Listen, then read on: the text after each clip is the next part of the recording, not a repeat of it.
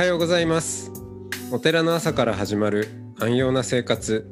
あなたのウェルビーイングが整うテンプルモーニングラジオ。週替わりでお迎えする素敵なトークゲスト。今週は伊豆の国市少蓮寺住職渡辺玄城さんです。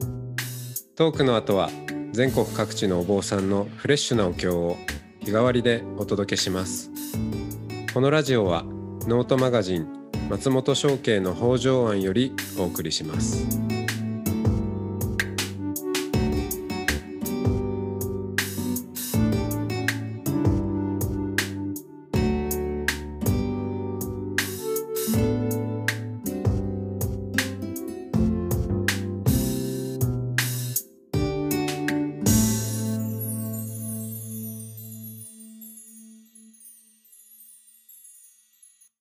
はようございますおはようございます。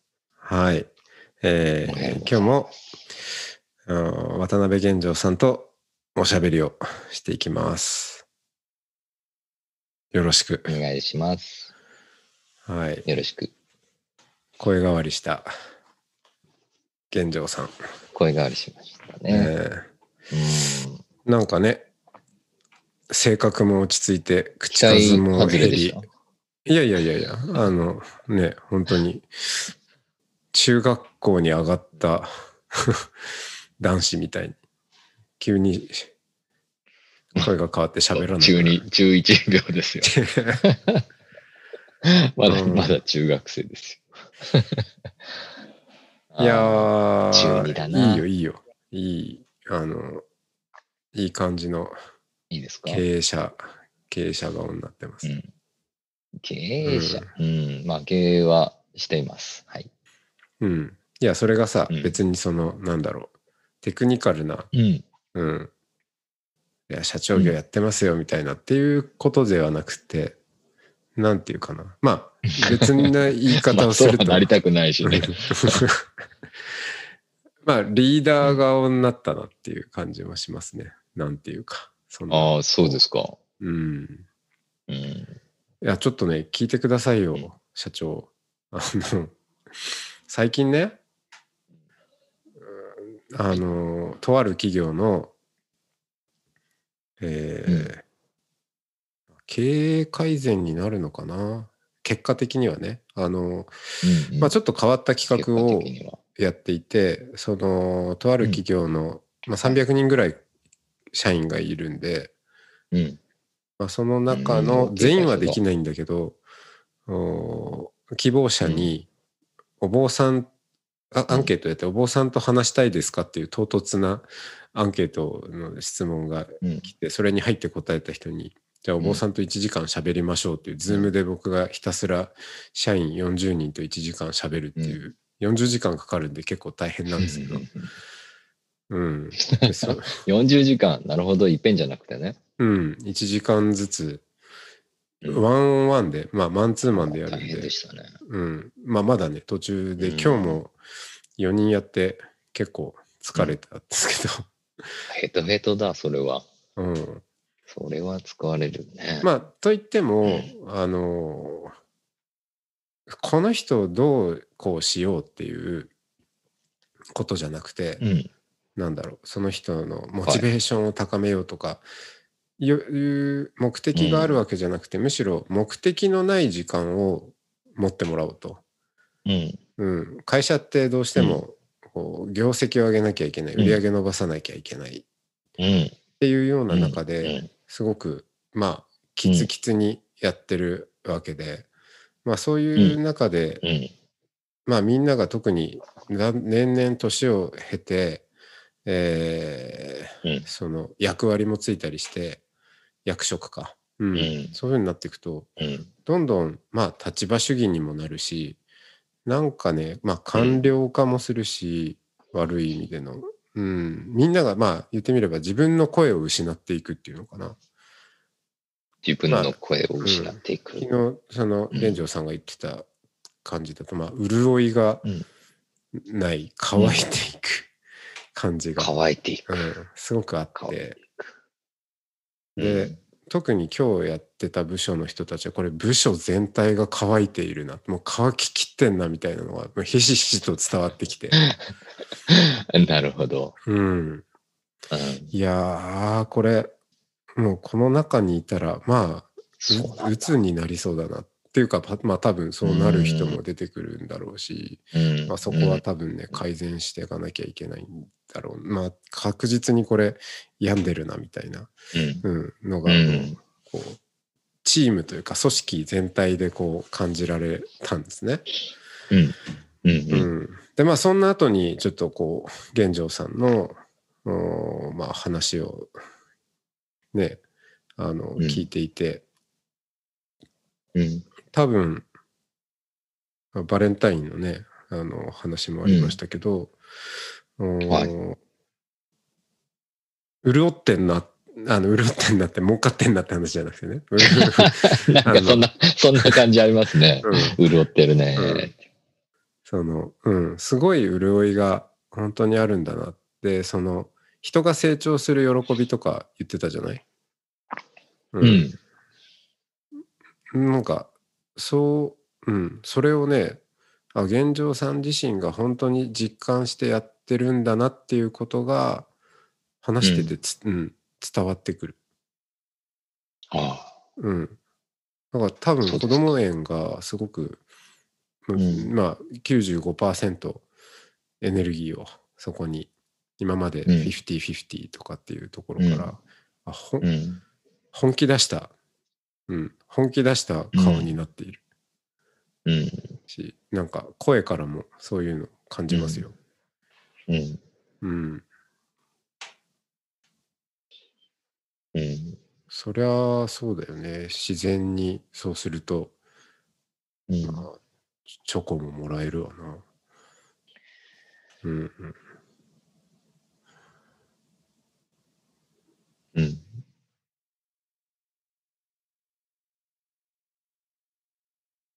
何が一番変わったんですかね？なんかそのかける時間の問題じゃないと思っててうん。もちろんねそうですね時間もあるとは思うけどうん。あ覚悟って言ってたかうん。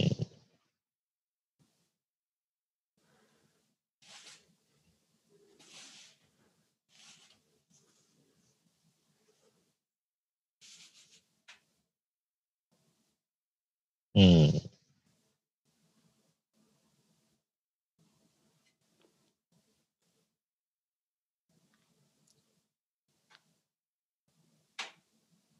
背負う感覚？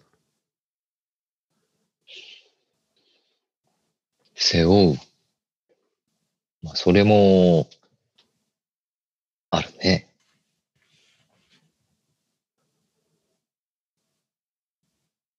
いや、今目の前にいる子供たちの、うん。うん、がこれからの時代をい、ね、まあ、青少年になって、うん。うん、成人式を迎えて、社会に出ていくんですよね。で、今の時代でも、うん、乾いているのに、うん。うん、その、せめて、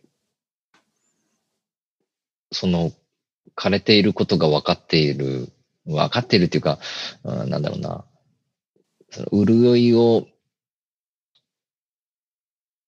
をイメージしにくい現代に、乳幼児を預かりながら、その子たちがこう育っていく社会を僕らは作んなきゃいけないんですよね。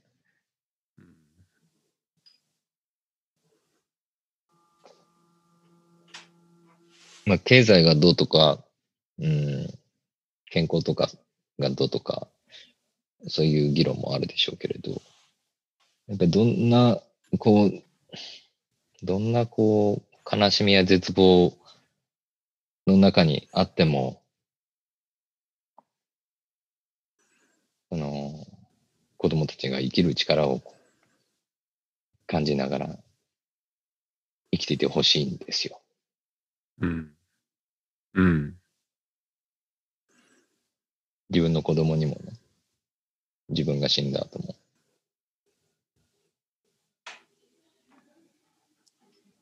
そういうことを今までイメージしてこなかったかもしれん。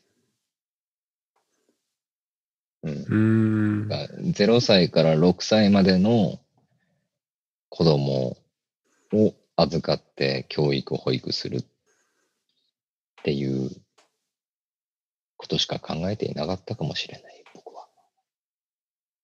うん。うん。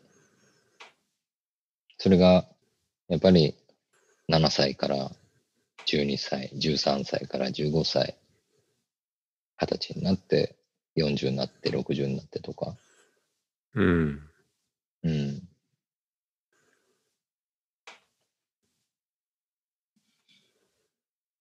そういう子たちを保育する先生たちを、まずやっぱり、あの、この仕事選んでよかったなって思ってもらえるためにね。うん。うん。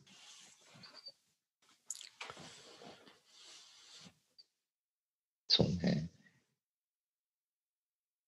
うん、なんか、先生たちを助けなきゃって思ってる割合の方が多いかな。子供たちよりって言ったらちょっと語弊があるけうれど。ん。うん。うん。それは僕の仕事じゃないので、あるかないかって言ったらないを選ぶと思うんですけれど、僕は。うん。うん。保育は僕の仕事じゃないんですよ。うん。うん。子供たちを相手にするのは僕の仕事ではないんです。うん。園長が言うセリフとしてふさわしいかどうどうかは、その人が決めたらいいですけれど。うん。うん。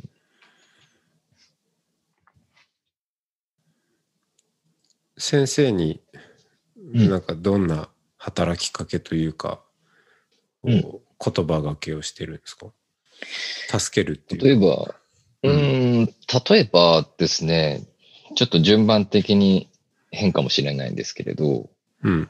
まあどうしても離職したいっていう、えー人も出てくるんですそうね。だよね。うん。うん。まあ人数も多いし、人生いろんな ステージもあるし。そうそうそうんんはい。それで、まあ今までは、あの、まあ、引き止める人もいたし、うん。それ周りからね、その職員を、うん。いや、辞められたら困るとか、はいはいはい。えー、いや、もう一年一緒にやりたいとか、あの手この手を使って引き止めている人もいたし、まあ私も、いや、ちょっと困るな、今抜けられたらっていう思いを持っていた時期もありますけれど、もうん。う引き止めないんですよ、僕も。うん。うん。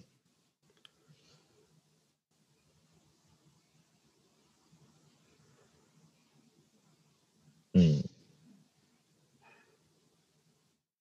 き止めるのをやめた。うん。これ結構もしかしたら、うん、大きな変化かもしれない。うん。引き止めずに、でもなんか言葉はかけるわけだようんね。。ああ、そう、そうですね。う。うんん。その、うん縁、縁のために、とか考えなくていいんだよ、とか、まあ、縁、うん縁のために、その、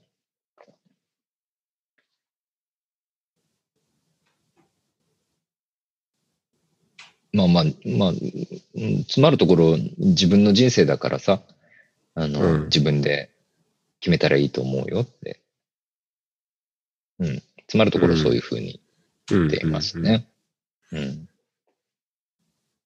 もし迷っているんだったら、うん、決めなくていいから、たくさん話をしようん。う。うん。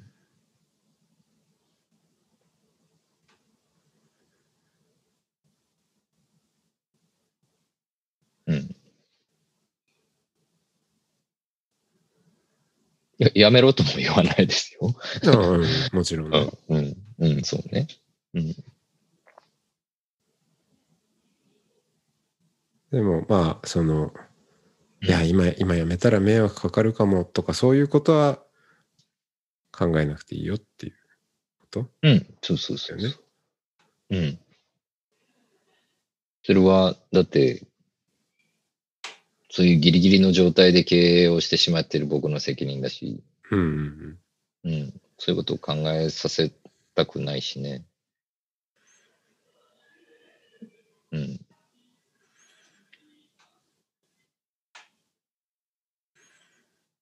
まあ自分の人生だからっていうか、うーん。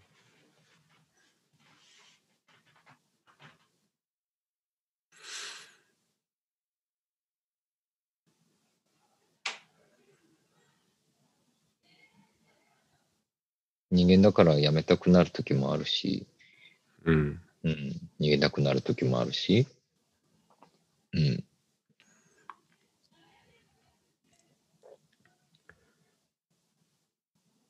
縁さえあれば、うん、ね、いや、そうね。ああ、うん、どんなことだって起こるし。そうね。うん。まあ、結ぶ縁もあれば、ほどける縁もあるからさって、うん、そういう言葉を使う機会は、うん、多かったかうん。な。うん、とか、なんか人の揉め事とか、うん。うん、そうだよね。ああ、そうね。揉め事に対して、うん、寛容になっているかな。うん。寛容、別にその人を許しているっていうわけじゃないけれど、うん、あ自分が揉めてるとかではなくて、うんうん。もちろんもちろん。うん、うん。定規と物差しの違いって知ってます？あ、知らない。あ、定規と物差し知らないな。同じようにつ使ってた。教えて。雑学増やしたい。定規は、うん。あの、定規に測れるものと、物差しにしか測れないものってあるんですよね。うん。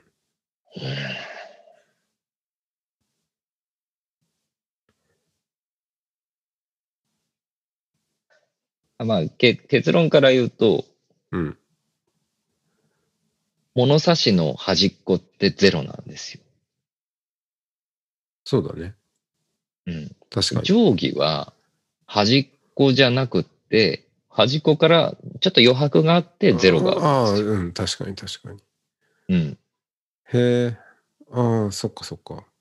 そう、そうするとね、お互いにね、測れないものが、あ、違う、定物差しには測れないものはないのかな？測れないものがないって言うとちょっと語弊でも、があるけど。測りにくい時はあるかもね。うん、そうう。ん。定規では測れないものが結構ある。うん。うん。え何の話をしたのかいやその時に、うん。なんか、あ、も、物差しはね、こうう、なんか、ピッとこう、肩を寄り添うような感じかな。うん。あ、そうだね。うん。うん。その中入ってくような感じ。物差しは。うん。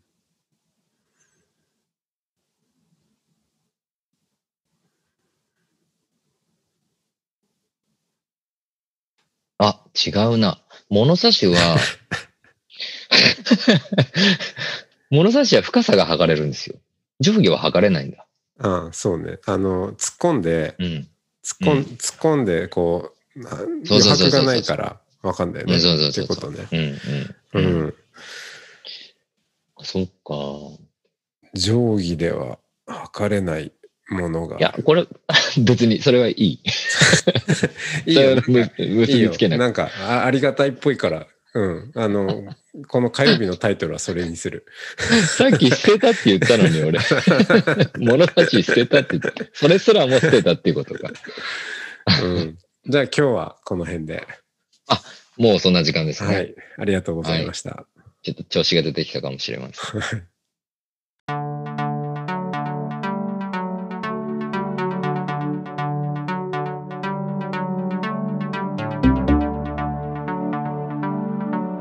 いつもテンプルモーニングラジオを聞いてくださりありがとうございます2021年2月17日より全3回のオンライン講座音の巡礼山の巡礼身延さん編を開催します。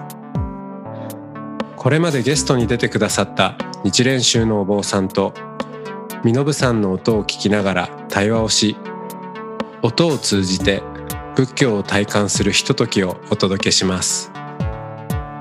参加申し込み方法など詳しくはノートマガジン松本商家の北条案または音の巡礼をご覧ください。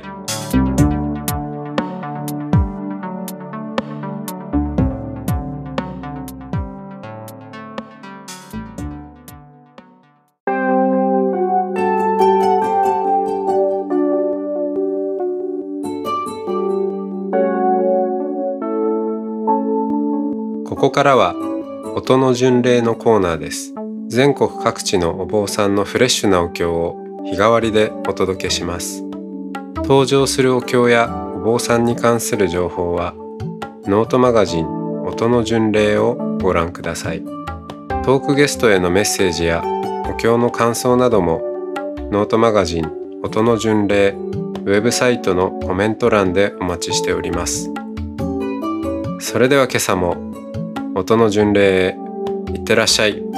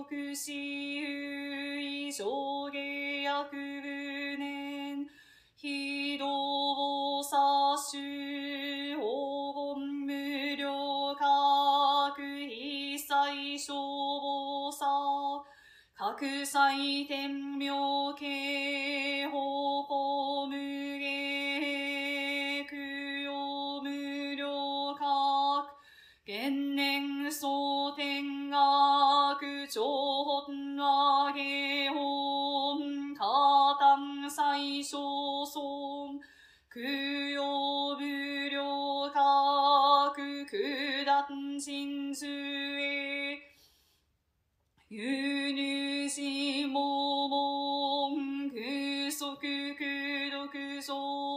明治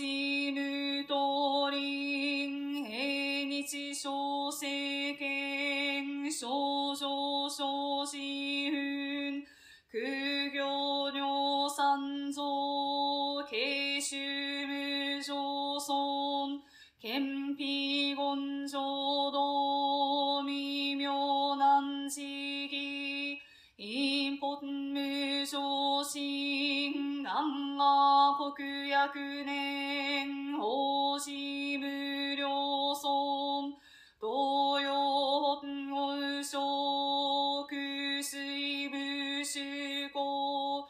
返上実法法空平行異尿心。三蔵十条入一切天二種有薬会館医大大事関税音、小福慶州門、脈分が栄翔、唯年願設置、盆章由来心、八トン長明公、東寿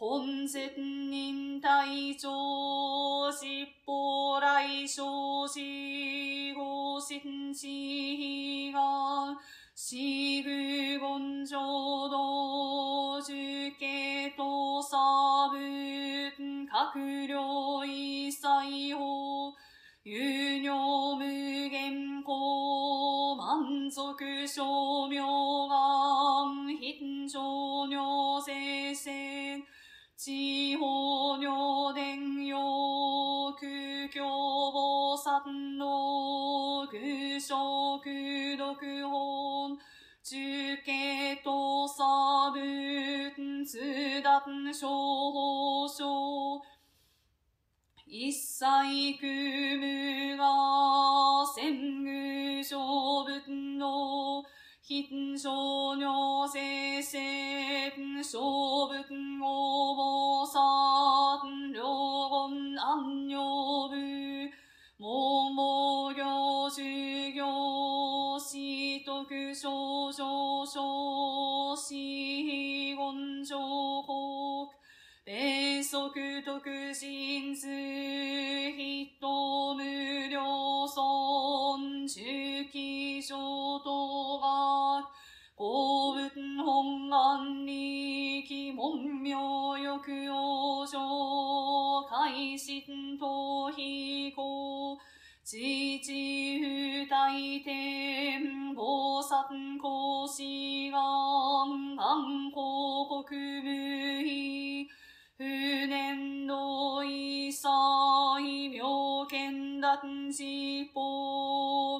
無事欲如来非形小説苦行官議公検討汎用公脈人無線本不徳門司教少女不会者内略門消防創教県生尊即の死死死謙虚門無教有薬大官義京魔平家大難に死死法粛清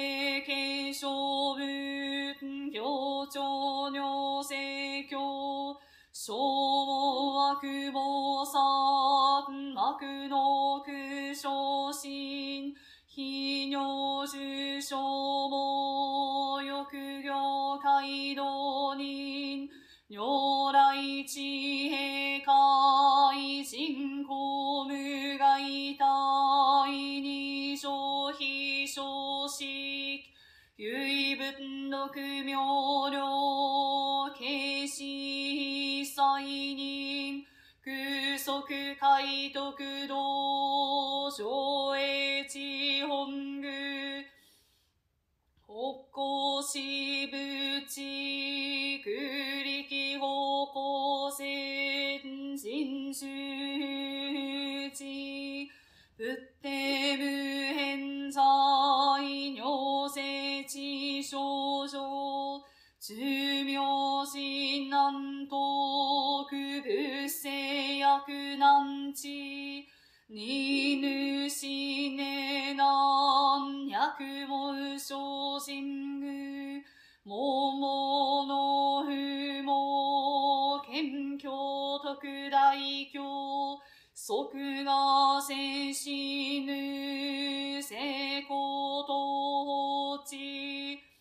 千万世界かひかよももへとしょぶんのこさいしょじる。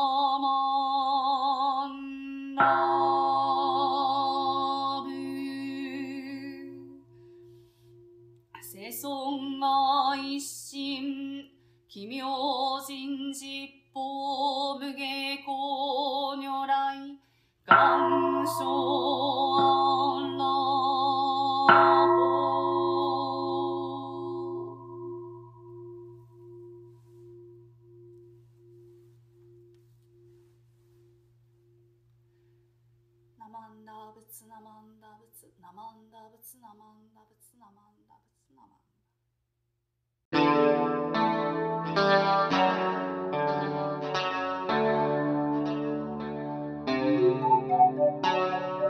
ダこのポッドキャストはノートマガジン松本紹圭の方丈庵よりお送りしました。お経コーナーはノートマガジン音の巡礼のご協力でした。ゲストへのメッセージや番組の感想などはそれぞれのノートのコメント欄にてお待ちしております。それではまた Temple Morning Radio でお会いしましょう。